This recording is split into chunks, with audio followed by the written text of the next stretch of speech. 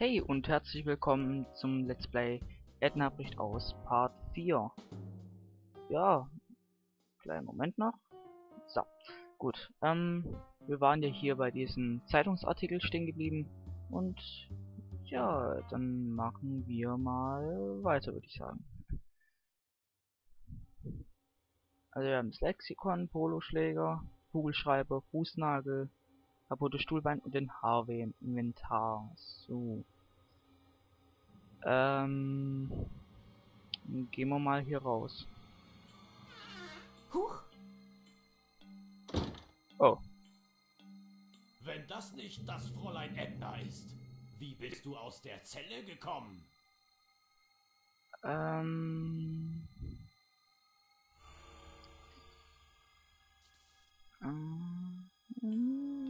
Wir mal Dieser das. Minigolf-Typ hat mich freigelassen. Stiesel? Er wird immer unzuverlässiger. Dr. Marcel wird toben, wenn er aus der Stadt zurückkommt. Sei's drum. Du kommst jetzt mit. Ich sperr dich zurück in deine Zelle. Ha! Niemals! Ha! Niemals! Du kannst dich nicht ewig hinter dem Schreibtisch verstecken. Wir werden sehen. Okay. Hey!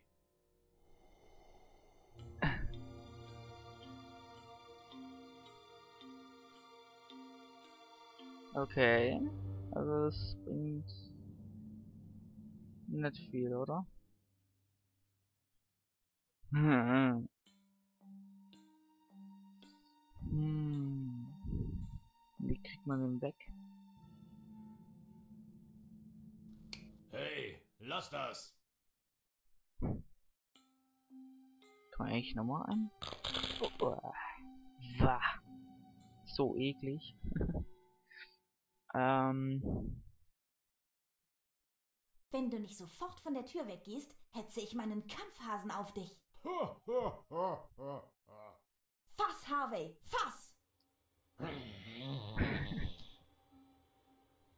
Okay, das bringt auch nichts. Kann man irgendwie anmachen? Die Feder ist zwar mächtiger als das Schwert, aber diese Oberarme sehen aus wie LKW-Stoßdämpfer. Okay. Kaputte Stufe. Das versuche ich lieber gar nicht erst. Wieso? Wäre doch witzig. Willst du vielleicht etwas lesen? Machst du dich etwa über mich lustig? Auch wenn ich nicht so aussehe. Ich lese viel in meiner Freizeit. Ach ja? Was denn? Tolstoi, Hemingway, Voltaire, Rosamunde Pilcher. Jetzt hast du dich verraten. Das sind ja alles nur Fantasienamen. Okay, dann probieren wir noch den da.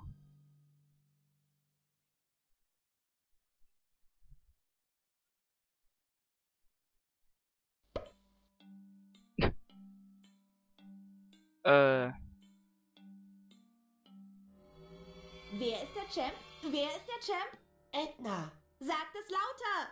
Edna! okay. Also den haben wir jetzt umgehauen. Edna erschlagen, großes Tier. Ug. Ja, ich sollte ihn verschwinden lassen. Aber wohin mit ihm? Ah, warte, warte, wie ging das nochmal? Okay, und jetzt? Ja, ich sollte ihn verschwinden lassen. Aber wohin? Ich weiß. Der Schrank. Das sieht ja auch ganz witzig aus.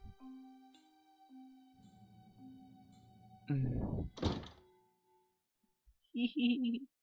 Aber jetzt haben wir trotzdem noch das Entwicklerkommentar. Jetzt, wo ich das Bild sehe, fällt mir auf, dass der Schreibtisch von Dr. Marcel rappierende Ähnlichkeit mit dem Schreibtisch von meinem Vater hat. Darüber sollte ich nochmal mit meinem Therapeuten sprechen.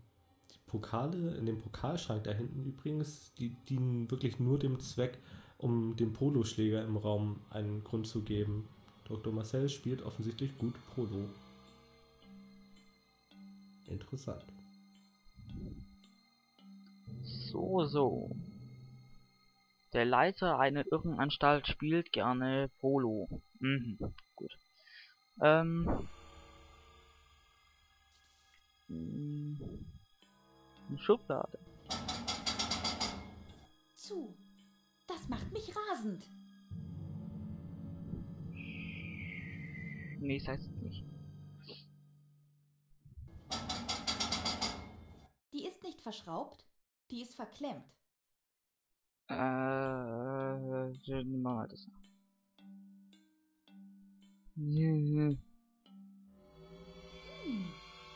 komme ich schon fast in den Spalt zwischen Kommode und Schublade. Aber eben nur fast. Mann. äh. Nehmen wir mal den Harvey. Harvey passt in keine Schublade. Okay. Ich bin nicht hier, um aufzuräumen. Hätte ja sein können. Und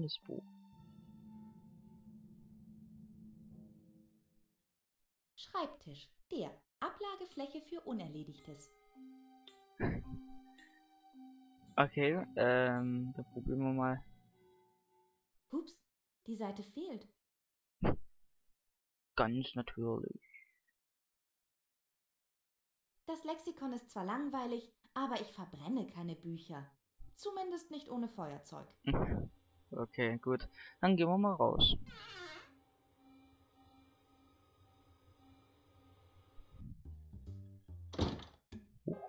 Wo sind wir denn hier? Dachluke. Ich kann etwa 40 Liter Himmel sehen. Aha.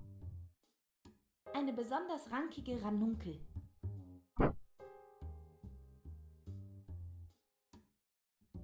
Kaputt machen. Was? Hoppla. Ja. Absicht! Psst. Äh, äh, äh, äh, ich, ich wollte es aber jetzt echt nicht. Das wollte ich nicht. Gelogen! Psst. Was ist das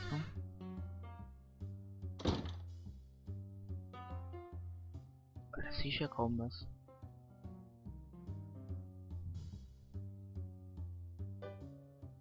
Ah, Lichtschalter. Ah, okay, gut. Ähm, Geht nicht. Die Kegel sind nicht vollzählig. Kartons. Hm, was da wohl drin ist?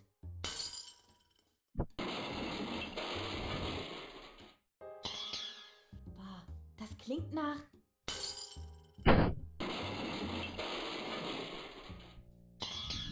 Ja, fast so als ob.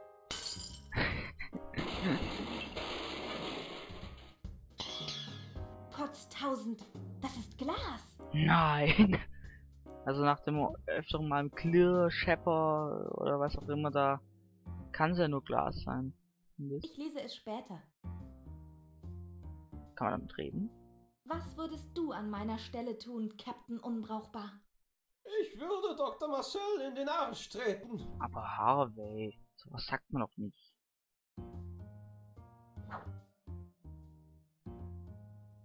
Kegel. Geht nicht, die sind unvollständig. Aber mit dem reden kann man trotzdem noch. Kegel wollen in der Regel unter sich bleiben. Mixer. Der ist kaputt.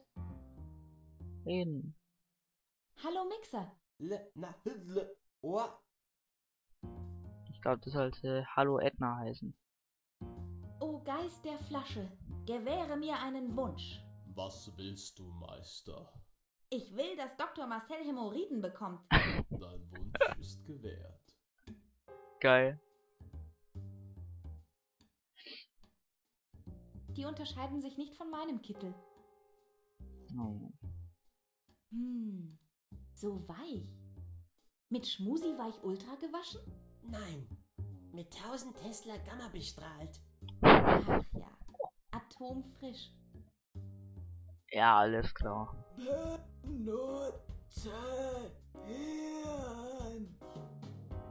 Ich sehe, du versuchst wieder fremde Gehirne zu benutzen, Edna. Du solltest mehr Vitamine zu dir nehmen. Dann bist du in absehbarer Zeit vielleicht in der Lage, dein eigenes zu benutzen. Ist ja auch ganz nett. Ähm, hallo? Hallo Edna, was führt dich zu mir? Ähm. Wer oder was bist du? Ich bin ein Gehirn in einem Glas. Aber du kannst mich ruhig Bobo nennen. Wie Bobo Bär? Nein, Bobo wie Bobo bombastischer Schmerz, wenn ich dich zu Bobo Boden ramme. Also wie, wie kam, oder, ein Gehirn namens Bobo? Äh, naja. Kannst nicht doch, Dummchen. Siehst du etwa einen Mund? Ich kommuniziere telepathisch. War ja klar. Oh Mann, oh Mann. Kennst du einen Weg hier raus? Warum denken die Leute immer, dass Hirne in einem Glas zu allem eine Antwort parat haben? Nein, ich kenne keinen Weg hier raus. Ja, Ich sein. komme nicht weit rum. Verstehst du? Weißt du etwas über diesen Dr. Marcel? Nimm dich vor dem Doktor in Acht. Er ist böse. Böse. Ah, ich hasse es selbst, wenn ich so pathetisch werde. Naja. Ciao, Bobo. Also mit dem können wir nichts anfangen. Oh, eine Alf-Puppe. Nein, wie geil. Vielleicht habe ich mein Gedächtnis verloren. Aber daran, wie wenig ich Alf mochte, kann ich mich noch genau erinnern. Was ist cool. Du bist zum Kotzen, Alf. Null Problemo. Haha, ich lach mich tot.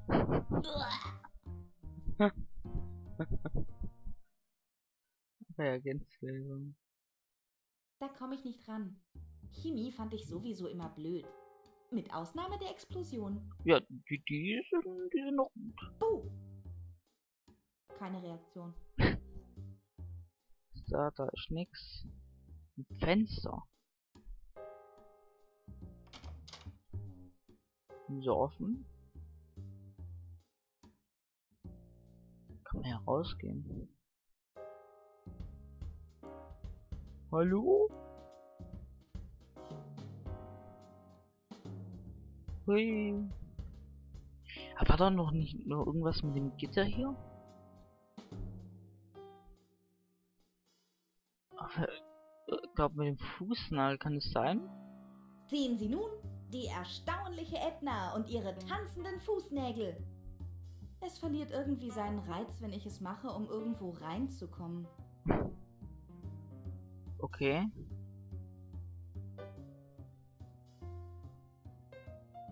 Äh, was ist denn hier? Die sieht aus wie eine Eistänzerin mit gebrochenem Bein.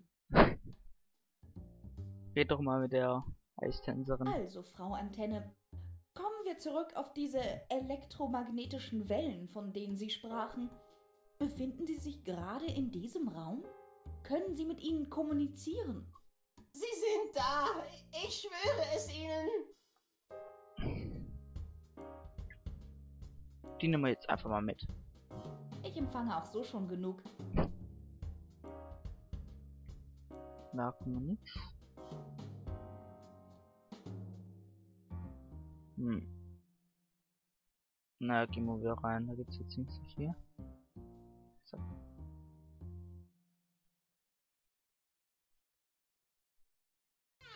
Hm. Gehen wir mal da. Geht's da runter? Ah, geht's im Flur. Was ist das denn? Ach, das ist der Hobbygolf, oder wie? Will ich da überhaupt in die Ecke gehen? Ach ja, wagen wir es einfach mal. Hey! Oh oh, ich verdufte lieber. Warte gefälligst! Äh, äh, äh.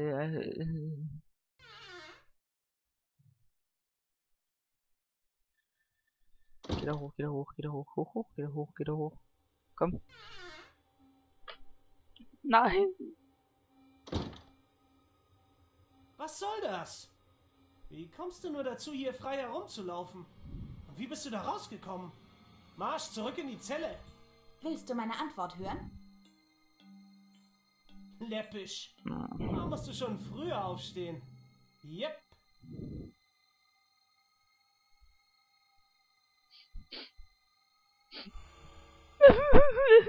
Okay, Houdini.